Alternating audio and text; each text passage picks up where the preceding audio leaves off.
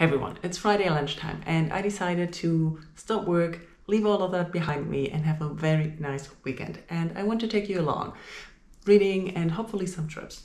I'm about to leave to go take my bike to Maschsee, so you'll come along for that. And I'm also going to take my current read. I'm currently reading on ebook Sweet Bean Paste. I forgot the author. I'm, I think, 60 or 70% done. And I really enjoy this book. It's very quiet. It starts off talking about this man running, it's sort of a pancake shop. They're called dorayaki. I hope that's what you pronounce them. Reading words in a different language. Hmm. Anyways, so he's doing a very minimal job, gets it done but doesn't put any effort in it. And he also has a little bit of a drinking problem. When one day this woman shows up, she's in her late 70s and says, I want to work for you and I want to help you. And at first he's resistant and reluctant, but then she offers to help and starts to make this sweet bean paste for the pancakes as a filling. And they start to get talking, become friends, and it's very endearing and a lot about food and cooking, and you get hungry. And then it takes sort of a twist. You know that the woman has some disfigurements, and then all of a sudden you find yourself in the context of Hansen's disease and how it was treated in Japan and the effects and anything. And it's sort of strange the combination but it's so fitting.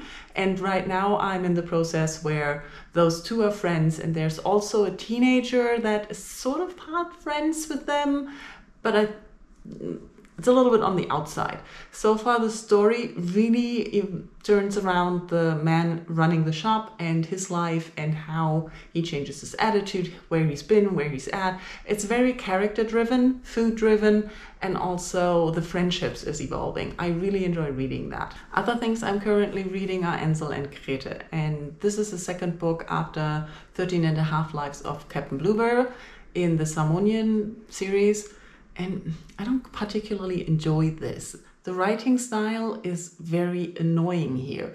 It uses a method where the author frequently interrupts the telling of his own story. But it's not Walter Moers interrupting, it's an imaginary author writing the book, Ensel and Krete. And ah, it's very annoying. It's too much. The balance isn't right for me. And the story itself of Ensel and Krete you might have the suggestion that it's a little bit aligned to Hansel and Gretel, and it's a little bit true. There's twins getting lost in the woods, and they're trying to get home. That's the main story so far. I kind of got bored. On audio, I started listening to Don Quixote, and I'm using the English translation by Tobias Smollett, I think and it's working much better than the German translation that I started, uh, is that years ago already? Probably. I started reading it in German because I wanted to read and get to the story for a long time, but I never really, yeah, did. And so the German translation kind of bored me and it didn't work. With the English translation and audio, it works much better. The audiobook is about 36 hours long and I'm not sure how far I'm in yet, but I don't think I'll finish over the weekend. But I'll make progress, hopefully. So let's go to Maschsee. Cycling to Maschsee was really nice, even though the sun disappeared as soon as I arrived there. But still, sitting there and reading was very relaxing. And I finished Sweet Bean Paste. This is a very life affirming book looking at the value of a life that is not lived as a purpose on society or where work is not the only way you contribute to society that gives your life meaning. And I really enjoyed the writing, the characters, and the story. I can highly recommend this book. But as it got gloomy and rather cold and rainy, I didn't really read anything else on Friday and but just spent that evening watching Netflix on Saturday morning, I went on my run, but it ended up being shorter than I had planned or expected, as my body was just not having it. And so I didn't read or listen as much to Don Quixote as I had planned or calculated. But I really enjoyed it. Especially this one scene where Don Quixote ends up at this funeral of this young man who died of a broken heart, and everyone is blaming the woman he was in love with. And then Marcella, the woman, shows up and was like, No, no, no, you can't blame me because I'm beautiful and I never loved him. I never gave him any hopes. It's not my fault that he fell in love with me. I didn't give him any hope that I would ever change my mind. We were not in a relationship. I'm not to blame. I cannot blame you for not loving me. And that was awesome. I really enjoyed that. Currently, I'm out in the park, hoping that I can get at least an hour of reading in. I bought a new book, Space Between Us. I have no clue what it's about. I saw it basically recommended at the end of Sweet Bean Paste by the same publisher. It's by a Persian author, and I, yeah, didn't feel like reading Hansel and Gretel. So let's see how that goes. And let's hope for a little bit of sunshine and at least an hour or two before the rain comes. I actually managed to finish the space between us in one sitting outside in the park. The weather was nice enough, and I highly enjoyed this. The novella is told in three parts at different times in the life of our narrator Edmund, who's an Armenian living in Iran.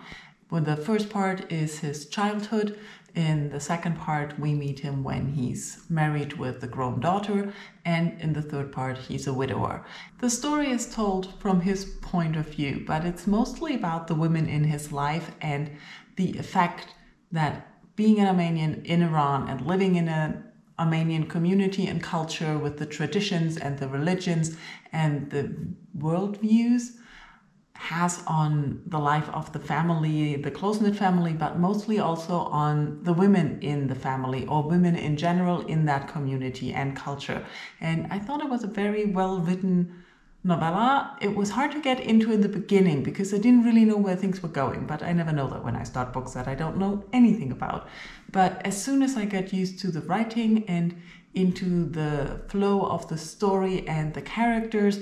I really enjoyed it. Now it's Sunday light afternoon and I finished Hansel and Gretel like I hoped to do this weekend and I really had to push myself through it.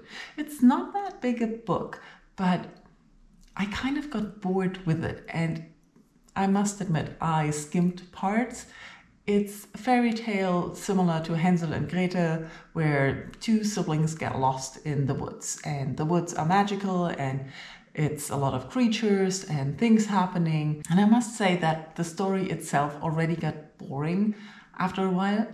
I think the book is too long. But what really annoyed me was the way the author or the imaginary author of the story, Hansel and Gretel, kept butting in and commenting on everything. They called this, I have no idea how to ex- translate that since this is German, Mythenmetzsche Abschweifung. And it's basically when the author wanders off and comments and talks and babbles. It's like watching a movie with the commentary and the author just kept butting in. Not my favorite. And as a literary device, it's been overused in here. I think it was not well balanced but it's the second book in the Zamonian series, and I do want to read more of the books. So I wanted to finish it, and I'm done now, and I'm happy. And I'm going to end the reading vlog here, as I'm going out on a walk now to listen more of Don Quixote, but I still have 23 hours left to listen to, so we're not going to wait for that. Thank you all for watching. Let me know how your weekend was or your reading. If you liked this vlog, if you read the books I talked about, or if you have any good recommendations. Thank you all for watching. Bye bye.